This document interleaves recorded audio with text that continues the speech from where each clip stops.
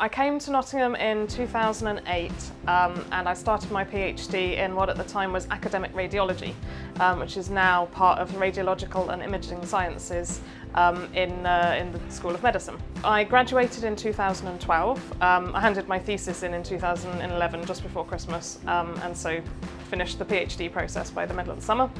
Um, and since then I have been a postdoctoral researcher. I sort of alternate every couple of years between the School of Medicine and the School of Physics um, as the Peter Mansfield Imaging Centre spans both departments. Um, that's been a fairly clean transition. Um, and I'm fairly embedded in the hearing sciences um, group in the Division of Clinical Neuroscience and also here in the Peter Mansfield Imaging Centre. So I pretty much just do anything that I can involving MRI and hearing. Um, that started out with a three-year contract, which was then extended by a further two years.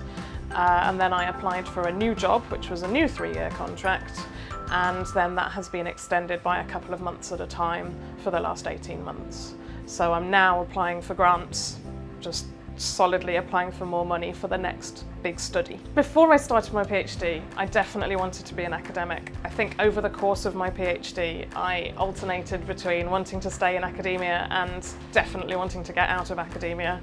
Um, we've got a really nice group here whereby we uh, collaborate really closely with um, industry and with the media and with policy and, and so I feel that I'm actually gaining the expertise that I will need eventually when I find a job that perhaps is outside of academia.